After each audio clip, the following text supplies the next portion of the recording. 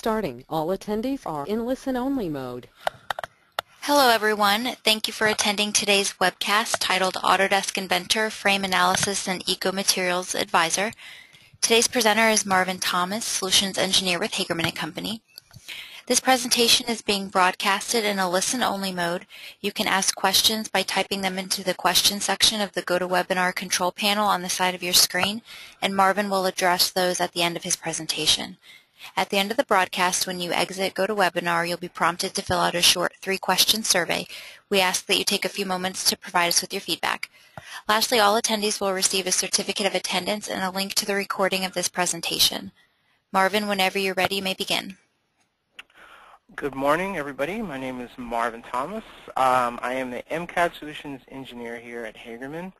And today we're going to take a little bit a look at uh, frame analysis and Eco Material Advisor uh, with Inventor. Um, uh, first, talk about digital prototyping. I'm sure some of you guys have heard of this before. Uh, excuse me.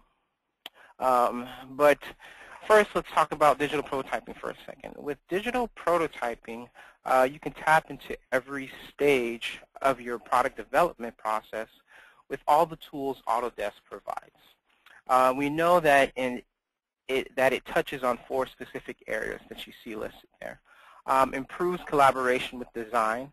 Um, it does that by making it easier for the entire team to give input on mechanical design. And um, some of you may know that's involved with Evolve.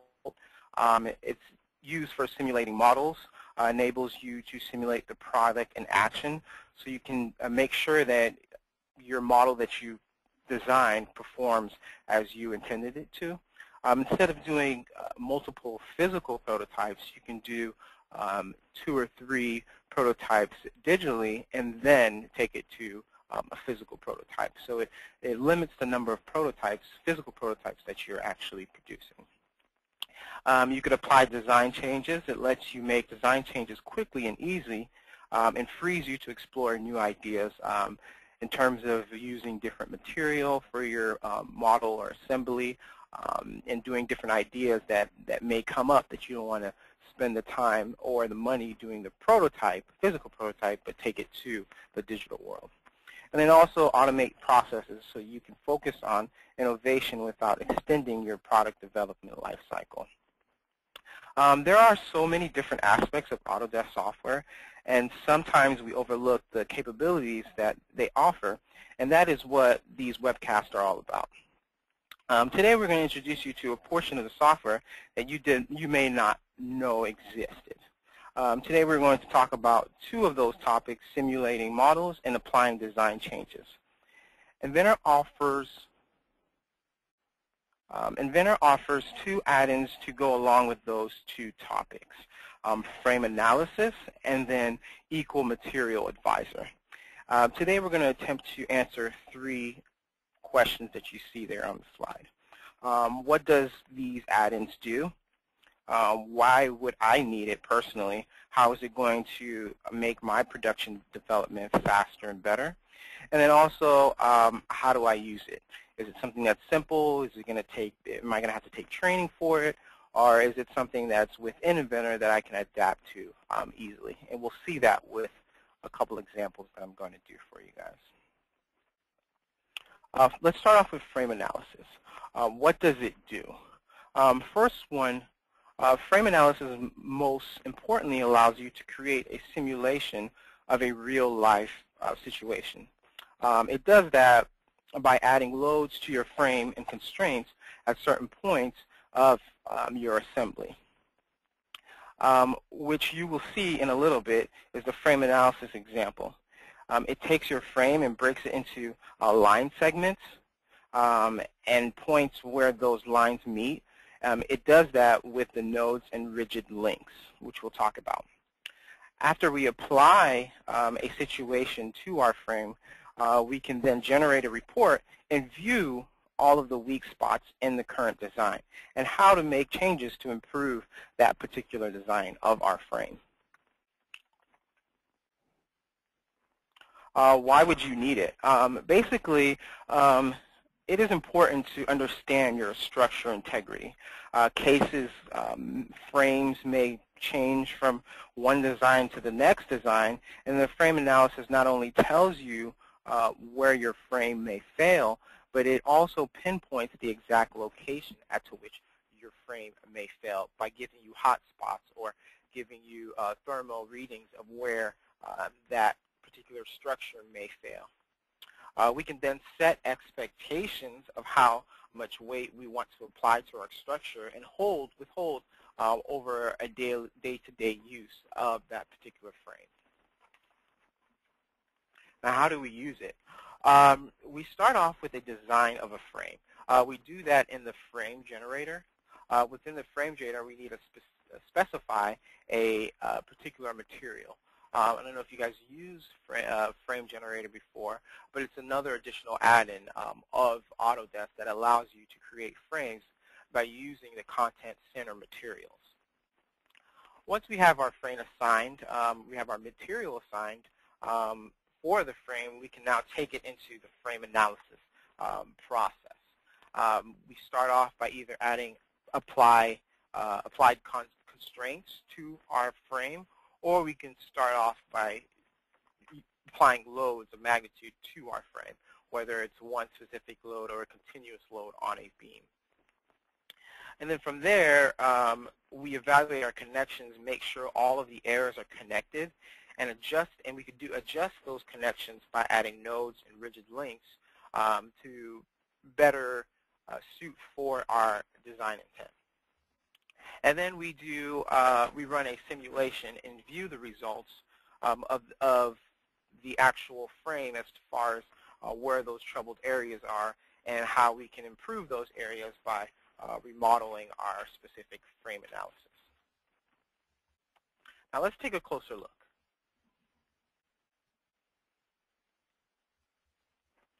Here we have a structure um, And then inside of that structure, you'll see there is a frame. And there are certain areas where I'm going to want to constrain that frame. Uh, you'll see there's going to be a pin constraint there. Um, if I rotate this, hopefully you guys can see this well, but you can see that there's going to be a constraint down here.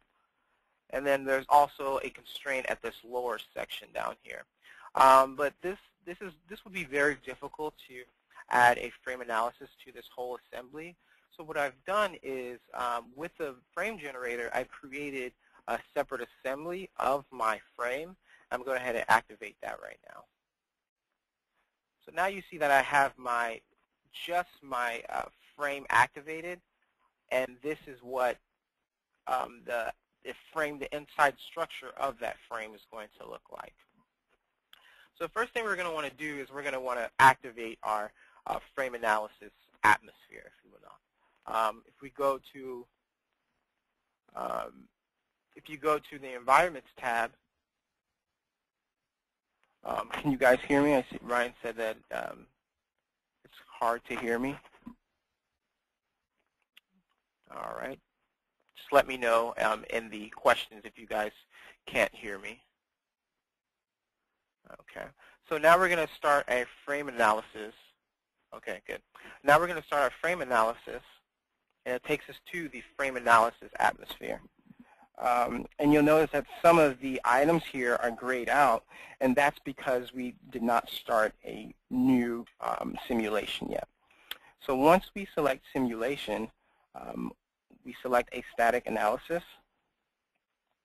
and it'll take us directly to um, the frame analysis. And all of the icons will populate in regards to editing my particular frame or in adding uh, different things to my um, analysis. Uh, let's talk about what's on the ribbon in the browser for a second. In the ribbon, you'll see that you have different uh, criteria that are required to to simulate that model. Um, you have to have the material which we um, designated before in the frame um, generator. But you can also go through here and, and change your custom material and add a different material type to your frame. Let's close that. And then from there, we have the constraint tab. uh, which we'll be talking about in a little bit. But basically, these are the different types of constraints that you can add to your specific uh, frame. Uh, remember at the top here we had a couple of uh, pivots here, so we're going to want to add a, a floating constraints for uh, those uh, two points that we saw in the um, complete assembly. And then from there we have our loads where we can add a, a load onto a particular area, and then we can add a continuous load across a beam. Um, we have connections where we can go through and edit connections, and you'll see how, how that comes into play in a little bit. And we can add custom nodes here, and then custom uh, rigid points or rigid links. And then um, here we have our solve and our result. And then um, in the display tab, we can display different items as far as the beam number and then the node label and then that can verify which uh, nodes are which for your end results and when we pull up that result or export that result into a PDF form. Um, first, I always like to start by um, setting my specific settings. Um, as you can see, the nodes look pretty large, and some, I have to really zoom in to see some of the rigid links. And then even some of the rigid links are um, hard to see because of the color that's selected. So in order to change some of those things, I can actually go to the frame analysis uh, setting. And then in the frame analysis setting, I can go through and change uh, different things that I want to change. So I'm going to make my node half the size that it is. And then I'm going to change my rigid link to a color that I can see better. So now I can see my rigid links in here. And then you can see that my node size has changed just a little bit. Um, now we're going to um, go through and um, edit some of these rigid links. As you can see here, um, this rigid link comes from this beam here and attaches to this angled beam. But I don't think that will give a accurate result. If I turn it to the side, you'll see that that wouldn't mark a proper weldment point and it would it would just give me an incorrect result or a not so accurate result. So what I'm going to do here is I'm going to actually edit that rigid point and uh, apply my own rigid link for um, that particular point. So I could do that by suppressing. I can suppress any rigid link that I need to, and then I'm going to add a custom node. I can either right-click here and say um, custom custom node, or I can go through in the actual um, uh, ribbon here and add a custom node to my beam. So when I select my beam, the area, the node that I'm closest to is the one that it's going to initially offset from. So right now it's at 371 millimeters. I'm going to change that to um, about 374. And then I'm going to apply a rigid link to from that node to the initial node that it was applied to. So now when I rotate this, I can see that my connection is a little bit better as far as how that would correspond to a connection, a weldment connection that would be applied from that direction. Um, I basically did this so that you can see that you can actually go through and you can change different links uh, depending on your model. or So it's not limited to um, what you see there, it's always you're always able to um, change links and change nodes depending on your preference or what type of results you're looking for. So I'm going to go ahead and do this to the other side here. Um, I'm going to add in a custom node, uh, 374. And then I'm going to add in that rigid link there.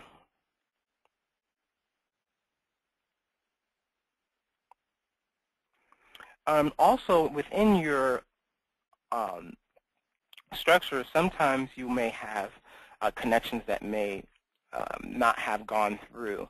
So, for example, you'll see, okay, that connection is fine there because it's bringing in bringing in that um, rigid link from this particular node to this node.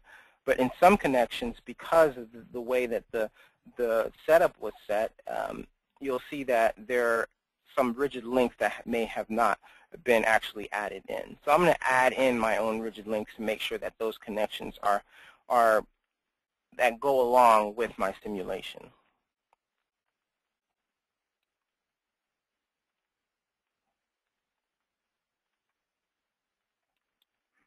Okay, so now that I have my rigid links, I have my um, rigid links adjusted, I have my settings adjusted. Um, now let's apply some force um, to my model. Actually, let's apply your constraints first, and then we'll apply um, our force to our model. So we'll start off with um, this top beam here where we saw that there was um, two pivot points at the top there. And then we'll apply those uh, to this top beam. So the first thing we're going to do is we're going to go to constraint. I want a floating constraint off of this beam, but I'm going to right click and say more options so I get it off of that, that wall there because that's where we saw the pivot point. So I'll select direction, and I'll select this flat face, and then I'll put the dimension, which um, I know is to be 116 from that point. All right. And then I'll add another floating point. And then I'll make that one to be 964 from that point. So now I have two um, constraints at the top there. Um, I want to add, uh, remember I want to add one down here at the bottom, or I want to add one at each beam. Um, I'm going to add a custom um, uh, custom constraint because I want it to be able to move in the x direction to see what kind of bend factor I get, but I don't want it to move in the y or um, z direction. So I want to add a custom um, node in there, or a custom constraint in there. So I select this beam, and then I say, okay, I want I don't want x to be fixed. I want it to have um, some elasticity. So then um, I apply that, and then I apply how far from the bottom I want that to be. I also do that to the opposite side.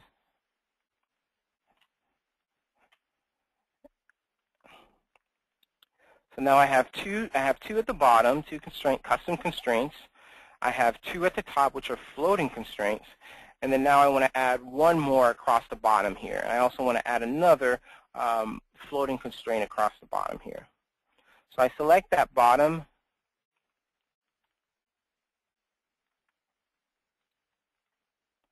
Let's do that again. Oops. So I add a floating constraint, and I want to add that across the bottom here. Go to Options. And then I want that to be relative to where it is right now. So round that up to 0.5. So oh, let's edit this. Okay, let's change the direction of that. Okay. Now that we have our constraints, let's apply a force, a couple of forces to our particular model. We'll notice that the automatically the load that is applied is uh, gravity, but we want it to go in the opposite direction. So what we'll do here is we'll edit the gravity in the browser under load, and then we'll change the direction of, of which that uh, particular load is going. And then we're going to apply a couple more forces. So we'll apply one on this node at 100 newtons, and then we'll apply another one at this node. And then we want to apply one more across the beam, but we want that to be all across the beam, so we're going to use a continuous load option. And then we'll put that at 0.5. Okay, now that we have our force, we have our load, we have our constraints, and we have all of our rigid links adjusted, we have everything that we need, we can now run that simulation. Now, as you can see, um, the first thing that comes up is it shows you, I don't know if you can see that clearly up there, but it shows you the type of result that came up first. It's always default, which is uh, the displacement. So it shows you the displacement as far as um, what type of torsion that, that occurs when you apply that force across that angle beam. Um, you'll see you can also do a animation where it shows you um, just a short clip of what's going on after you apply uh, that force across those beams. Now you can see there is I, I added, um, what I did is remember I made sure that it was able to go in the X direction but not in the Y or Z direction. So you'll see that it's able to pivot from that point and still go into that direction. So I can see what type of um, impact is applied when I apply that force across those beams. Um, that's one way of looking at some of the uh, results, but we can also do, a, we generate a report, which we'll do in a little bit, but there's also a beam detail where we can go through and look at some of the results for each specific beam. So if I wanted just the result of this top beam here, um, I can select um, select beam, and then it'll show me um, all of the corresponding um, selections that I can go through um, based off of that particular beam. So I, if I wanted to go to the max, it'll give me, it'll show me the normal stress max of that particular beam and where it's located corresponding to the diagram that's at the top there.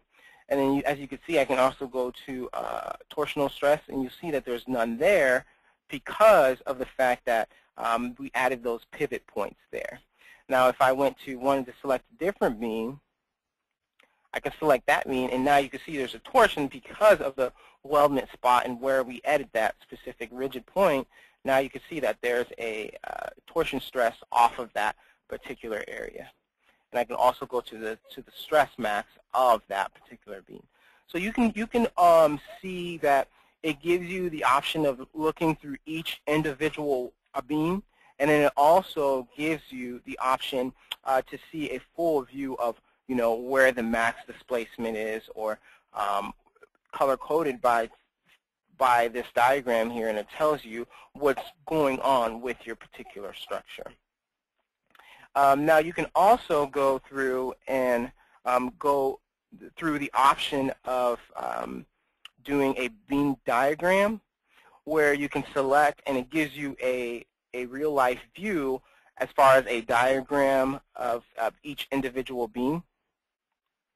Um, if, I, if I want to select one particular one and I select what I want to display, it'll show me that by, by these diagrams in my actual um, model here. And then it'll show me my max area and then my min area. And then you can go through here and select any one that you want, and, and it'll pop up automatically by showing you a diagram off of that particular um, beam that you select.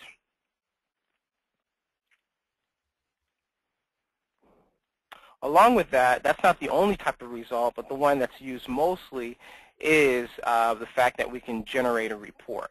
Now, if you guys have done any type of simulation within um, Autodesk Inventor, you'll know that you're able to you're able to generate a report based off of um, the simulation. And it gives you tons and tons of information uh, that you can go off of.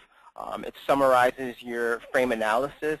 Um, it gives you, you know, your, prod, your project file as far as you know, what it was created, who it was created by, um, all the specifications as far as weight, area, and then it, then it goes into the simulation processes. So if you have more than one simulation, that would populate into there too. And then you can go through and see, you know, what type of material I use, um, the cross section of my material, the beam model, the rigid links, the ones that I've added to my uh, particular one. And this is where um, the beam number and the node number comes in handy because this is where you can say, okay, I specify, oh, I know that that was node number 23. Now I can look and see, okay, was that fixed or was that had was that not fixed? And I can go through and it gives me gravity, and then it goes through and gives us uh, each individual force that was applied to our structure, and and then um, the continuous load, and then each individual constraint that was applied. So as you can see, it gives you tons and tons of detail as far as uh, results for your frame analysis. And you can go through here and say, okay, these, these are the areas where we need to improve. and you could document this and, and put it in your actual report. So that's just a little bit of a run through on the frame analysis. I mean, of course, there's a, there's tons more that you can do, um, and you know, we, you can always. I'm to put up my email so you can ask questions afterwards um, if it's more detailed oriented stuff that you're wanting to know. All right, let's go back to the slide here. Um, now that we talked about frame analysis, let's talk a little bit about Eco Material Advisor. Um, Eco Material Advisor was introduced into Inventor in 2012 um, edition, and um, it kind of, we're going to go into detail exactly what it does and, and how it works. So we're going to attempt to answer those three questions again. Um, what does it do? Eco Material Advisor was um, touches on some of the behind the scenes, I would say, features that are important in product development. Um, it enables better decisions early in the design stage, and then it also helps keep your design under in, in environmental regulations. It allows an engineer to apply materials to the product of um, to analyze the impact that the particular material has on that assembly, and then you can adjust your material um, so that you can have better costs, you can have um, um, better environmental regulations, you can follow those regulations and whatnot. Why do you need it? Uh, basically, why do you need it kind of falls in line with what does it do. Um, it identifies hot spots in your assembly. So say if you have a large assembly, um, you don't know particularly without this application you may have an idea of where most of the cost is going to or where the product development impact is mostly on the on the particular part of my assembly, but this kind of gives you detail as far as um, how far does it uh, impact your your assembly. Your assembly, but not not just on the aspects of where the assembly may fail, but the cost of manufacturing that product. It also touches on what kind of impact manufacturing of that product will have on the environment. Then it allows you to make alterations to your assembly by switching out materials that will help these potential hotspots. Now, how do you use it? We start off with the initial design concept. So you have your initial assembly, and then you identify where some of those hot spots are with the uh, eco hotspot. Um, it identifies those particular hotspots. Um, whether it be for cost or energy consum consumption of manufacturing that product, we then set a point of areas we want to we want our product to improve in by setting a baseline. From there, um, we use the eco to search through alternative materials, which is a cloud-based um, option where it gives you tons of materials.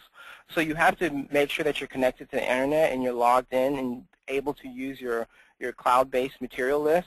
And then you test the alternatives and integrate those materials to make a new assembly. So you're, it's pretty much you're swapping out uh, materials based on your set baseline of criteria of what goals you want to meet on your particular um, assembly. Now, let's take a closer look.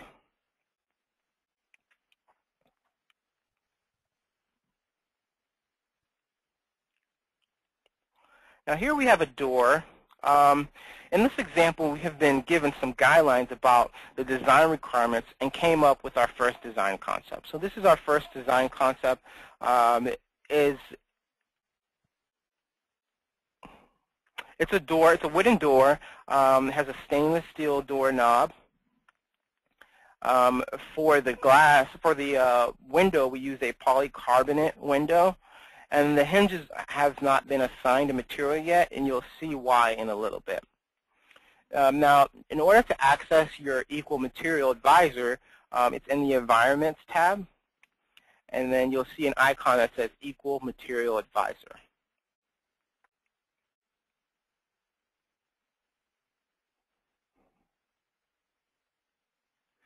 Now you notice the first thing you'll notice at the top right here when you open the Eco Material Advisor is your basic toolbar. Um, we are going to begin with the graph icon, and then uh, this, this will pull up a dashboard. It's called the Eco Impact Dashboard. Uh, this dashboard is used to identify where um, eco hotspots are located in our assembly, and it works by setting a baseline for our design, then gives us the capability to search for recommended, recommended materials that can lower the eco hotspots of our assembly. Now you'll notice down here uh, there's an X here, and that's, that tells us that there's something going on with our assembly, uh, whether that be um, that um, the ROHS compliancy is not right, or there are certain materials within our assembly that have not been assigned, um, or certain parts in our assembly that have not been assigned a material. So if we click on this X, and, and we'll see that, okay, um, these materials have not been assigned a material. So if I, if I click that and I say select part, it'll show me that, okay, all these hinges have not been assigned a material. So I can right-click that and say Browse for Materials, and it'll give me a list of materials that I can that are typically used for hinges or for that particular part. So in this case, I'm going to use a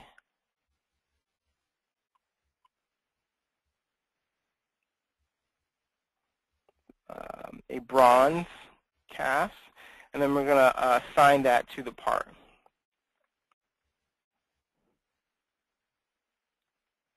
Okay, so now we see a check mark there. Um, because we selected that specific part, we need to go back to activate our entire assembly now. So now we're going to go back to the top here, and we're going to say return to top. So that returns to our entire assembly, and then that updates our um, Eco Impact dashboard again. Now let's start by seeing what type of impact our material is having on our assembly. So if we uh, select any one of these, let's see, let's select uh, carbon footprint, and then we'll see,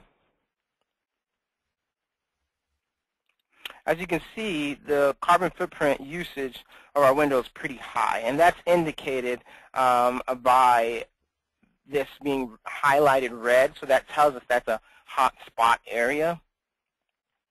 Um, and we can go back and even, uh, if we hit select this to view summary again, we can go back and say, okay, I want to select energy. Uh, we could do that way, or we can actually toggle through these and see what type of um, impact is on each. It goes through the list of that you saw on the home page there, and it shows you, you know, water usage, cost. Um, the highest cost material there is the window, and it shows you the total cost of the entire assembly.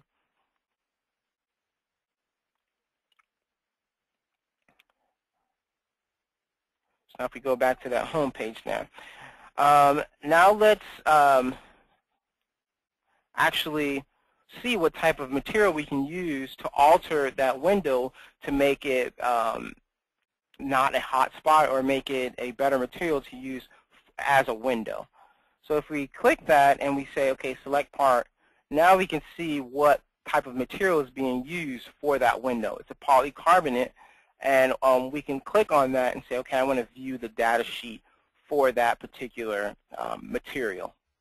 So when you do that, it pulls up a PDF form of that particular material, and then it shows you what we need. What's most important is the primary primary primary material product production. So it shows you energy, um, the CO2, and then the water usage. And we can we're going to use that to set our baseline as far as where we want to improve in order to give us um, a suggestion of what material we should use for that window. So now if we go back to this home page here and we go to set baseline, what that does is it automatically sets a baseline so we can compare and contrast when we add in our new material and we change this uh, to the suggested material. Now let's go back to here and say, okay, I want to select my window. And I want to search for alternative materials to um, for my polycarbonate current window and see what kind of improvement I can get. So here we have our search criteria as far as uh, what we want specifically our material, our material or a part to do. So first thing I'm going to do is, okay, I want this to be transparent because I need to see through that particular mirror.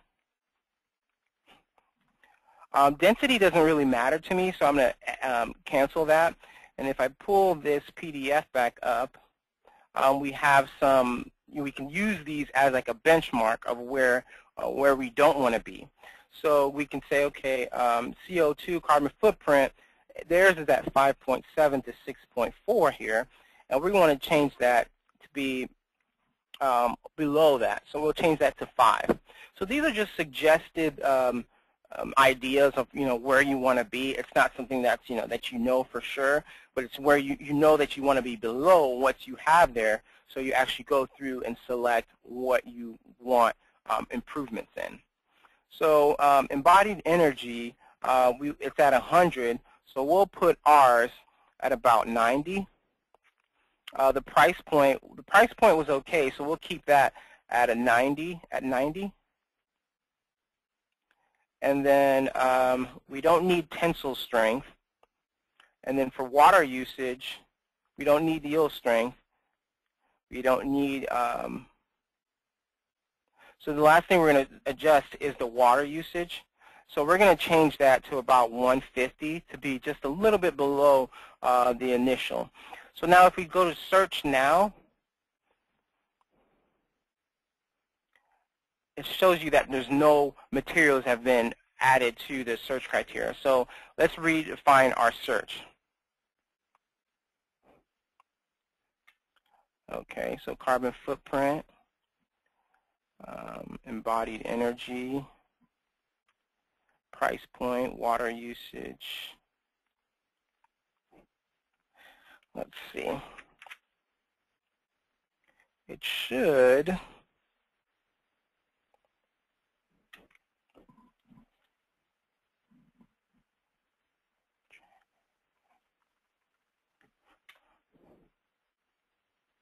There we go. Spelled transparent incorrectly. Um, it should show up, you know, what uh, materials that we have for that would be better than the initial polycarbonate that we use. So let's just use the first one there. Let's use glass, and we'll assign that to selected part. And then once you do that, the dashboard will automatically update, and it'll show you the type of improvement you get from replacing the polycarbonate material to the glass material. So as far as cost, we get a 34% increase, I mean uh, decrease in cost. Um, for water usage, we get about an 83% decrease. A carbon footprint, 74% decrease, as you can see there. And then the energy usage, we get about an 80% decrease. Now this is, keep in mind, this is just for that particular part, what type of improvements. But if we go again, we go back up and return to um, the top portion of our assembly, we'll also see what type of um, improvement we get on our assembly. So as far as cost on the entire assembly, we get a 16% increase. Uh, water usage, we get a 5% increase. Uh, carbon footprint, we get a 41% increase. And then energy usage, we get a 50% increase. Now, um, results here, it gives you results as far as what type of improvements you've, you've received, but you also have the option of going through, um, if you select um, View Reports, it populates a report just as if we were um, to do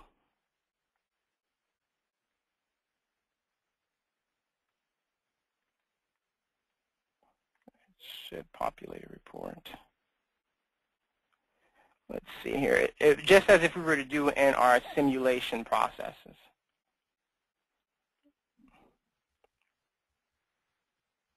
Uh, oh, there it is.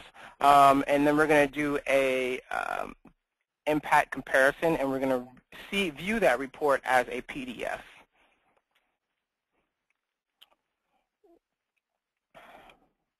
Now you'll see that it gives us a comparison report. And if you scroll down here, it shows you the content of the particular report. And then we could start off by seeing the overview change compared to the baseline. So remember again, we set our baseline and then we compare it to the initial um, material that we assign to that product or to that part. And then we see what type of reduction we get changing that product. So that's the whole idea behind um, the Eco Material Advisor where it compares and contrasts the, the two different uh, materials that you can apply to a particular um, part. And if we keep scrolling through, it gives us different graphs that we can use for documentation, or if you want to take those reports to your boss and say, okay, uh, this is the type of improvement that I'm going to see if we switch our, our materials from um, this product to this product. And then it gives you uh, a new concept chain, and then the print, uh, percentage of um, reduction that you give with the new product. Um, gives you, you know, it gives you a graph for each individual product, water usage, uh, the cost summary.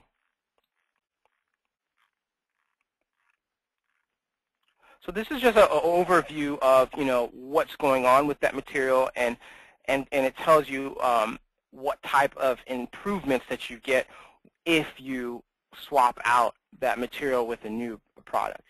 Um, this is also a good one to read about, the Appendix A. Um, how are these figures calculated? So it goes behind the scenes. It tells you, you know, how does it pick um, a particular material, and how does it know that the cost of that material, and how to re replace that material for a um, product. All right. So it's basically an overview of both um, objects, and it, and it tells you, you know, kind of where to go. Um, that's just a, you know, a, a step forward. Like we can always go into more detail as far as, you know, if you have more questions, uh, you can send me an email at marvinthomas at hagerman.com. Uh, right now we're going to open the floor for some questions. I see we have a question already. Um, so we're just going to give it some time, um, and then we're going to answer some of these questions, and then we'll follow up with um, closing this session.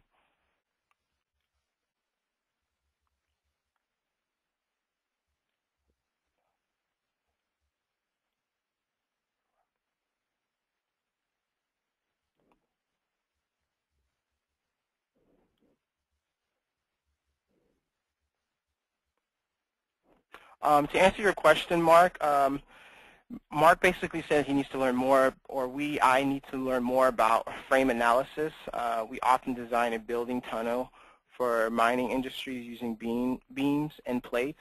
Um, that's um, in more detail. I mean, you can shoot me an email, and then I can have um, somebody contact you. We actually do, we have classes for that, or um, I can give you a little bit more detail as far as a, of a more thorough uh, run through of uh, frame analysis and how it works.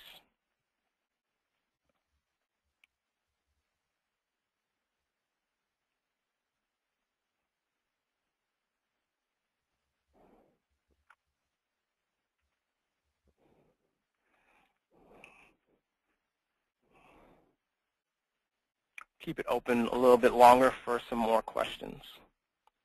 If you have any questions, go ahead and, and, and put your questions in the question dashboard.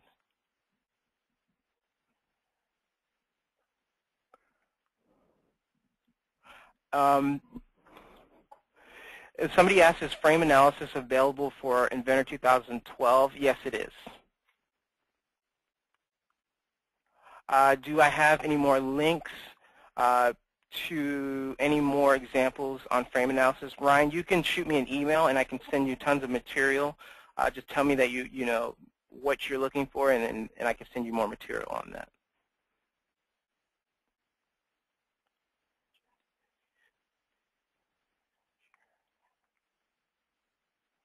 Um, Gary, what kind of analysis engine is used? Do you use Shear Center or Centroid for open sections like cChannels? Um, that I do not know off the top of my head, but um, I can get you more information on that if you shoot me an email.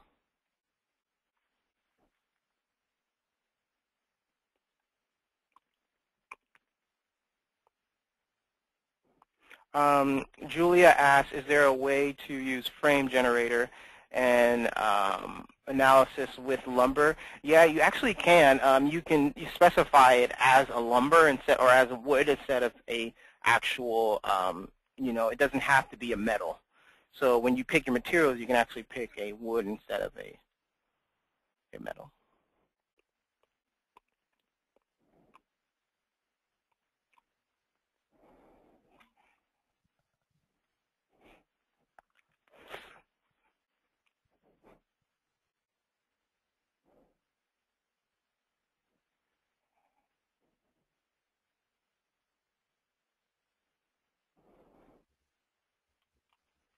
Keep it open a couple of more minutes here for questions.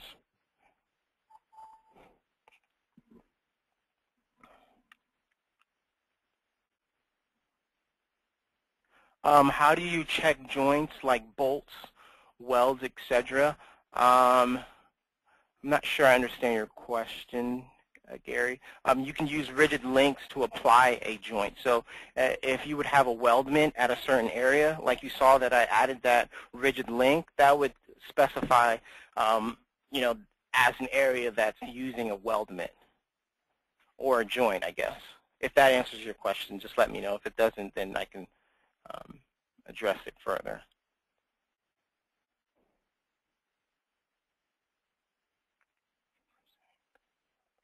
Um, how do you get information for setting up a yield, setting up yield properties? Um, within Inventor, I'm not sure if you're familiar, but we have um, each particular part. You can actually, um, you you have a couple of options. You can go through and create your own material and set up yield strength. Uh, you can set up yield properties. Uh, you can set up any type of properties, or you can go through and actually um, edit a material and say, okay, um, I want to save this as a new material, but with this yield strength.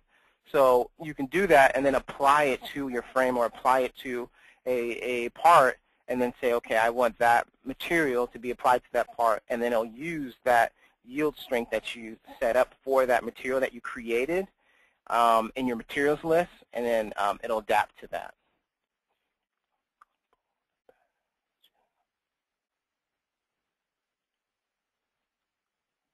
Um, Gary said to go further with his questions, with his question he said, do you check loads on bolt patterns, tensions on welds, or other critical cases? Um, based off of my knowledge, I it doesn't factor in weldments. That would be very difficult. That would be more like a, a, a stress analysis where it, it calculates all the mesh points.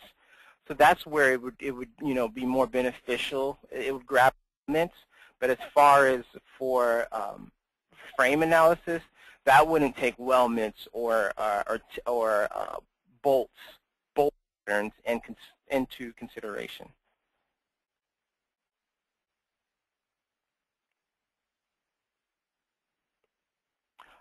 Julia asked. Julia asked um, that she has not found it easy finally, easy to specify standard lumber sizes and frame generator. Is there a way or a group where these are?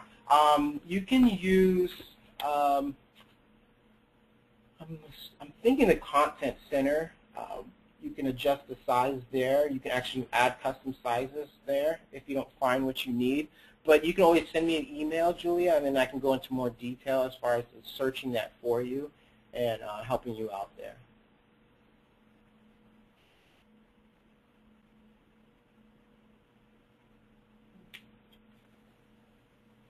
Um, Mike, I don't really understand your question. Uh, you said that you said that um, they need to get up and running with Autodesk Inventor, Professional Part 1.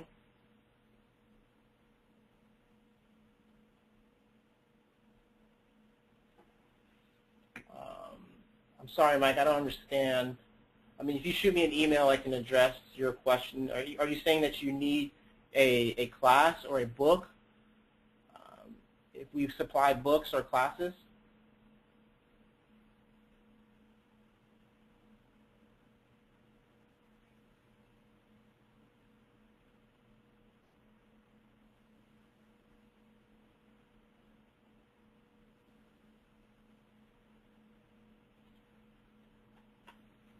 I'm sorry, Mike, I, I don't understand. Uh, you can shoot me an email and I can answer, you know, I can call you or we can talk directly as far as what you're looking for. I'm not sure if you're looking for a book or if you're looking for an inventor class.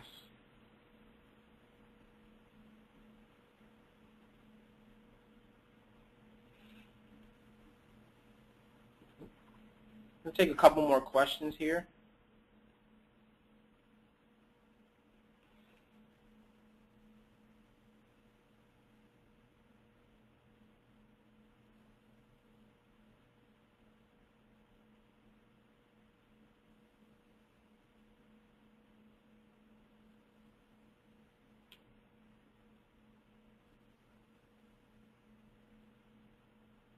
Oh, I think Mike is saying that um, it's beneficial if you guys get a book called Up and Running with Autodesk Inventor Professional Part 1.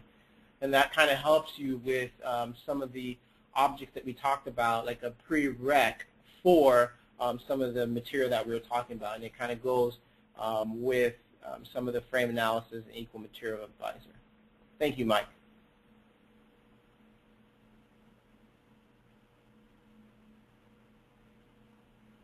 Uh, Mark says, uh, to answer your question, Julia, uh, when creating a frame, you can select the material.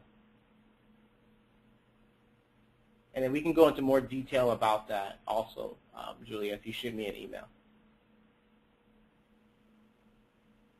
Thank you, Mark.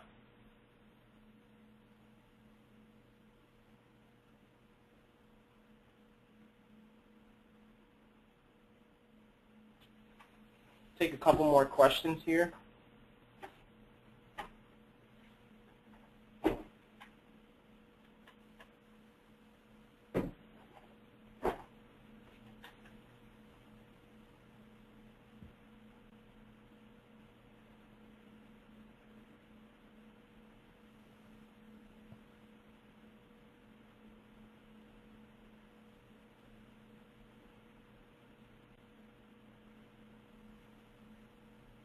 I mean, I'd say the best thing for you guys to do, just my input, is um, kind of explore Inventor. There's tons of different types of add-ins and applications um, that are involved in Inventor, and it's very useful to kind of explore it and see, you know, how it may be beneficial to your industry.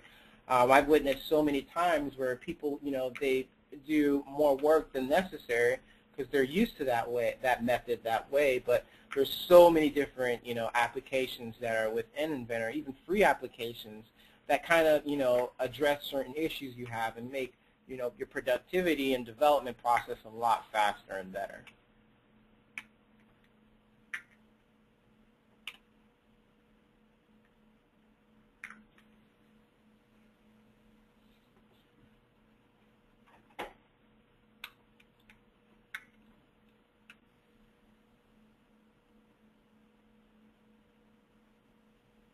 Give you guys about five more minutes if you have any more questions, and then we'll close this out.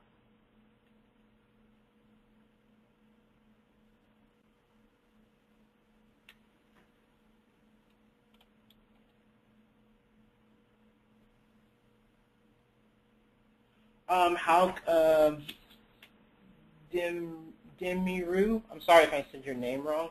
Um, he asked, how can we translate or convert from SolidWorks to Inventor? Uh, that's a very good question. Uh, SolidWorks, converting from SolidWorks to Inventor is not a, uh, a difficult task, but it doesn't give you all of the features.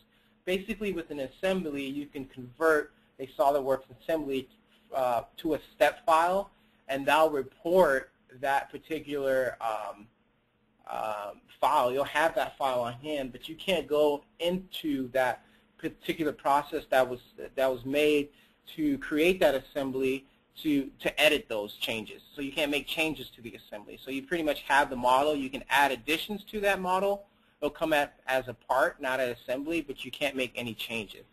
So as far as translating to um, um, frame analysis or eco material advisor, frame analysis, I believe it can. I would have to double check on that. But eco materials, I'm, I'm sure it can because you can change the materials of a step file. Good question.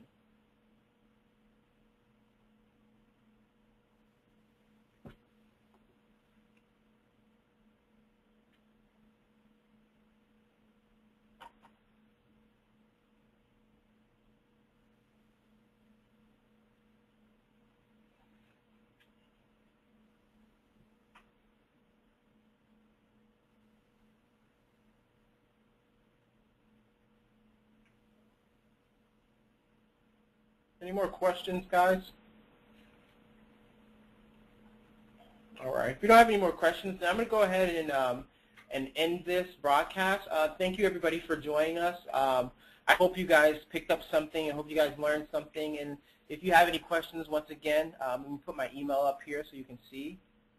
But if you have any questions, once again, don't hesitate to um, shoot me an email, and I can do. I'll do the best I can to, you know, even get you any type of information or get you any type of instructions on what you need. Um, we also offer training, so if you guys are ever interested in any training sessions, um, we can also get you in contact with um, somebody from Hagerman to um, get you on the list for the training. We do remote training, um, just like these go-to meetings, and then we also do um, on-site training, and we have 22 locations. So thanks again, everybody. Um, have a good day. If you don't have any more questions, then I'm going to go ahead and end this broadcast.